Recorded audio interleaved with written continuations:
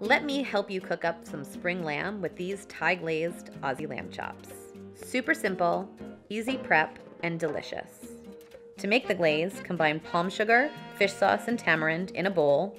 Place the lamb loin chops on a plate or tray in a single layer, and use a pastry brush to coat the lamb chops on both sides with the glaze. Cook the corn for about 15 minutes until grill marks appear.